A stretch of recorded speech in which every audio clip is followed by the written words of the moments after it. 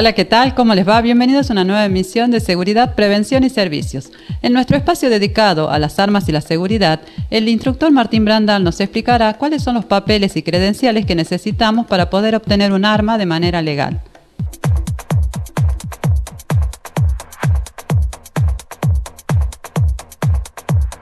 Hoy vamos a hablar sobre la ley 2429, el inciso 395-75 del RENAR, sobre la ley de transporte de armas y municiones, armas y explosivos de, nuestra, de nuestro país.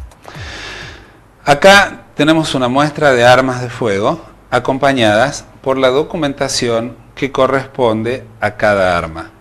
Vamos a observar que cuando nosotros queremos saber conocer si el arma está legalmente declarada o si es un arma dentro de la reglamentación de la ley vigente, tiene que estar acompañada por su credencial que acredita la identidad del propietario del arma de fuego, el calibre del arma, la marca del arma y el número del arma de fuego. Cada credencial viene acompañada de un número de registro en el RENAR, el cual puede comprobarse perfectamente en una entidad, ya sea el registro policial de armas, el REPAR o el RENAR mismo. En nuestra provincia el RENAR está ubicado en el pasaje 2 de abril. Para nosotros adquirir un arma de fuego es recomendable siempre hacerlo en una armería. Cuando la compra es a terceros o de terceros, a veces salen avisos publicados, por ejemplo, debemos ir a tramitar la transferencia del arma de fuego en las oficinas del RENAR. Muchas de nuestras armerías tienen un delegado ahí también que realiza todo este tipo de trámites ante el RENAR y dejan en custodia el arma de fuego del tercero hasta que el RENAR autoriza con una credencial el nuevo propietario y la nueva propiedad del arma. La documentación que nosotros debemos tener para adquirir un arma de fuego para poder hacer uso de un arma de fuego documentada y prestada por otro legítimo usuario, debemos tener primero la tramitación de una credencial de legítimo usuario. La credencial de legítimo usuario es como una cédula, como un carnet de manejo para una persona que va a conducir un automóvil. Es decir, esta credencial se la otorga el RENAR, la entidad, una vez que una persona ha cumplimentado una serie de requisitos, que son los siguientes. Se pide, por lo general, fotocopias del DNI segunda y primera hoja, se pide un certificado médico de salud física, un certificado de salud psicofísica, se, también se piden la toma de huellas dactilares planas de ambas manos, se pide una fotografía a color, fondo celeste, tipo carnet, se pide también un certificado de reincidencia, es decir, es un certificado de buena conducta extendido por el Departamento de Reincidencia que está ubicado en La Plata, provincia de Buenos Aires, y donde llegan todos los antecedentes de la persona, judiciales y policiales del país. Es decir, si la persona es de otra provincia y ha cometido un delito y hoy acá en la provincia donde está no tiene ningún delito, en el certificado de reincidencia sí figura.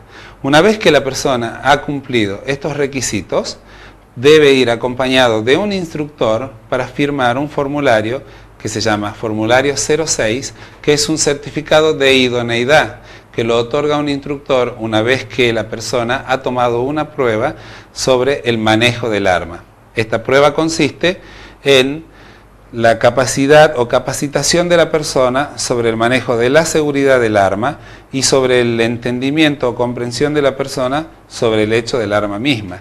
No es una capacitación que nos enseñe a disparar un arma de fuego o que nos prepare para el uso mismo del arma en cualquier forma, ni deportiva, ni defensiva, ni este, ningún uso ni siquiera de cacería, simplemente es una capacitación de idoneidad, es decir, lo mínimo necesario para que una persona comprenda qué es lo que está adquiriendo y cuál es el peligro que conlleva tener un arma de fuego en el domicilio.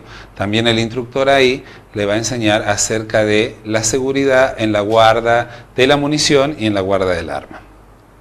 Una vez que nosotros hemos adquirido la credencial de legítimo usuario y realizamos la compra de un arma de fuego, vamos a ver que este, que ya dijimos, es como el carnet de manejo, ¿no es cierto? Vamos a obtener la credencial del arma. La credencial del arma, como ya lo habíamos mencionado, tiene los datos básicos, el número de la credencial de legítimo usuario, que por lo general es el número de documento, de DNI de la persona, el nombre de la persona, el tipo de arma, el calibre, la marca y el número del arma. Esta credencial, ambas acompañadas del DNI, acreditan la propiedad del arma de fuego. Acá la podemos ver. Es decir, esto sería un ejemplo, la credencial del legítimo usuario y la credencial del arma. Lo que tenemos acá es una credencial de consumo y esto se refiere no al arma misma sino a la munición. Por lo general las credenciales de consumo se otorgan como permiso para comprar la munición prevista para el arma que nosotros hemos adquirido. Tal es así que la credencial de consumo va acompañada también del número de credencial de legítimo usuario va acompañada del calibre del arma que nosotros tenemos, de la credencial, y va acompañada de una autorización. En este caso, en los calibres de guerra, en los calibres de armas de uso condicional, se permiten mil municiones por año. Una vez que nosotros hemos adquirido la credencial para la compra de municiones provistas para el arma determinada, ¿no es cierto?, con su calibre, tal es así que si yo tengo dos armas del mismo calibre, con una sola credencial de consumo es suficiente. Una vez que nosotros hemos adquirido el permiso para la adquisición de la munición, nos vamos a una armería en cualquier lugar del país, previsto siempre del DNI, la credencial de legítimo usuario, la credencial del arma, más la tarjeta de consumo, en la armería hacen la apertura de la tarjeta colocando la fecha en la que fue comprada, el número de inscripción de la armería, la firma de la persona encargada de la venta y la cantidad en letras, la cantidad en letras de la munición que nosotros estamos comprando. Que límite, como digo, lo dice la tarjeta o lo acredita. En este caso, en armas de uso civil condicional, mil por año. O sea, yo puedo comprar mil municiones si quiero. Y el nombre de la armería a la cual hemos adquirido.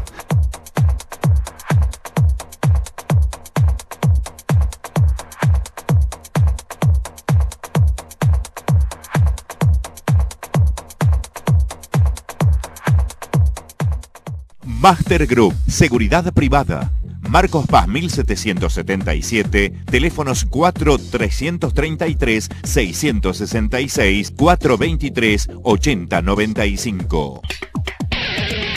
El tiempo es un factor muy importante, pero cuando se trata de la salud, cuando hablamos de la vida de la gente, se transforma en decisivo. Cada nuevo día comienza nuestra carrera en pos de la salud de miles de personas. Una carrera que demanda una gran responsabilidad y en la que el paso del tiempo es nuestro principal desafío. Porque para nosotros, la vida es vital. Queremos darte la mejor protección. Por eso estamos vacunando contra la gripe a embarazadas, mamás hasta 5 meses después del parto niños desde 6 meses a 2 años inclusive, mayores de 65 años y personas entre los 2 y 65 años que pertenezcan a grupos de riesgo. Concurrí hoy al hospital o CAPS más cercano y vacunate. Ministerio de Salud Pública, Gobierno de Tucumán. FM Tiempo 95.7 MHz la radio que marca el ritmo de todos tus días. En la actualidad, un tema que preocupa a toda la gente de cualquier clase social es la seguridad. Conscientes de ello, en BST, Video Seguridad Tucumán, queremos presentarte algunas de las soluciones que manejamos en el área de circuito cerrado de televisión. Hoy te quiero hablar del sistema de grabación digital Geovisión. Una de nuestras principales ventajas es el sistema analítico de video en tiempo real. Este sistema nos permite tomar imágenes desde cualquier cámara analógica o IP y realizar, por ejemplo, las siguientes funciones. Conteo de personas. Como su nombre lo dice, esta función se emplea para contar personas u objetos que pasen por una zona determinada de la imagen. BST, Videoseguridad Tucumán. Teléfonos 0381 156 429 007 o 156 090 223.